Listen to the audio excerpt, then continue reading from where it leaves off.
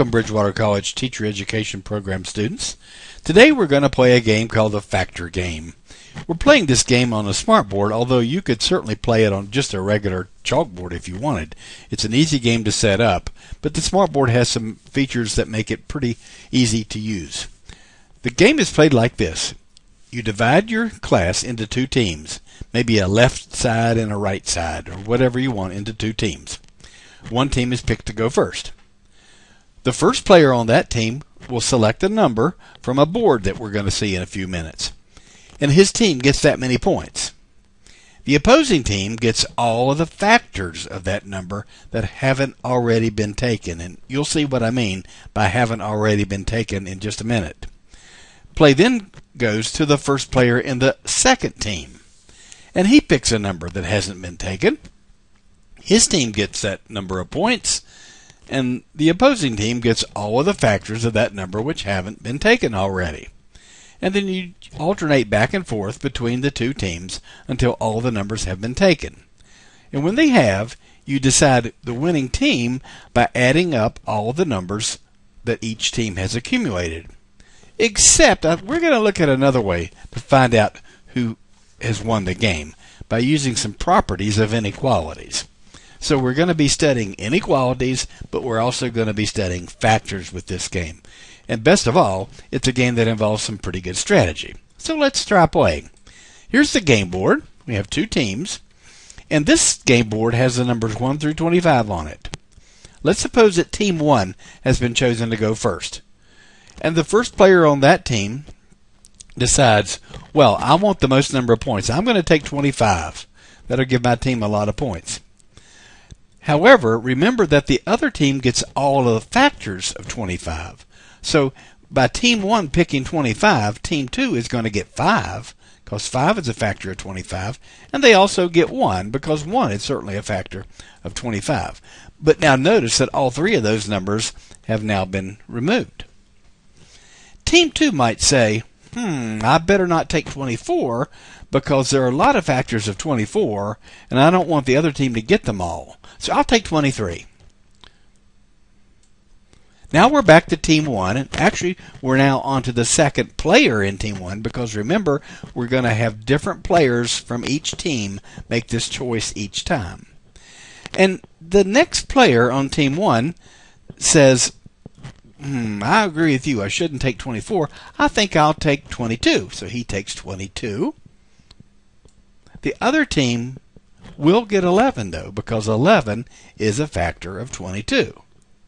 And for that matter, they get 2 as well, because 2 is also a factor of 22, and it hasn't been taken yet, but 1 has already been taken. So now we're back to Team 2. Team 2 decides to take, hmm, I'm not going to skip, I'm not going to take 21 because uh, other team will get some points out of that. I'll take 19. So they take 19. Notice that when they take 19, the first team gets nothing because it's a prime number and its only factors are 1 in itself, and both of those numbers have now already been taken. So the next player in Team 1 might follow that rule and say, I think I'll take a prime number, I'll take 17. The other team gets no points. Now, when we return to Team 2, we notice that, well, 16 isn't prime. 15, well, 15 wouldn't be a bad choice, would it? Because if I took 15, the other team will only get 3 out of it because the other factors, 1 and 5, have been taken. Notice there's a lot of strategy here. We're back to team 1, and maybe that team takes 13 since 13 is prime, and they know the other team won't get anything out of that. Well, we're going to run out of prime numbers eventually. So at some point, we're going to have to take all of the numbers on this.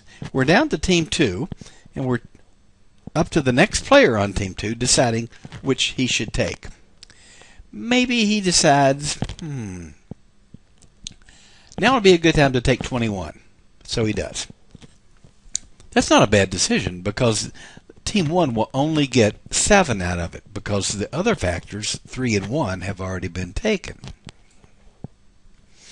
We're up to Team 1's turn, and the next player in Team 1 might decide, Well, I think I'll take 20. That's a big number, and I'll get 20 points out of it. Not a terrible choice. Except that Team 2 is going to get some points out of this, right? They're going to get 10 because 10 is a factor of 20. They're also going to get 4 because 4 is a factor of 20. We're at Team 2's turn now. And maybe the player for Team 2 decides, well, now would be a good time to take um, 18 because 18 uh, is a high number.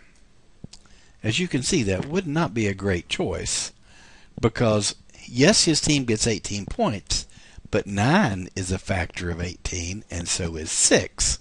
So both of those numbers go over to Team 1. It's Team 1's turn. A good move for Team 1 would be to take 14 now, and that's indeed what they do because its factors have already been taken. We're up to Team 2 now. Team 2 might take 8 because all of its factors have been taken. Team 1 would say 12 would be a good choice. Let's take 12. Now, you, of course, might make better choices than this, but nonetheless, by them taking 12, the other team gets uh, no points out of it. At this point, Team 2 takes 24, and Team 1 takes a 16, and the game's over. Well, the game's over, but now it's up to us to decide which sum is higher. But I'm going to suggest that we do this not by getting the calculator out and adding, but by using the fact that these are inequalities. Team 1's total and Team 2's total may not be the same. So, so they're probably an inequality. We can always subtract the same number from both sides of an inequality, and the inequality is still preserved. So, for example, I could look on the left hand side and notice that 9 and 6 add up to 15. So I could scratch out the 15 on one side and the 9 and 6 on the other, and indeed that would that would be fair. As an, another option, I might notice that 22 and 7 make 29. 19 and 10 make 29. So I've taken away 29 from both sides. And you can see what I'm doing, going to do. I'm going to continue to look for equals on both sides that I can take away.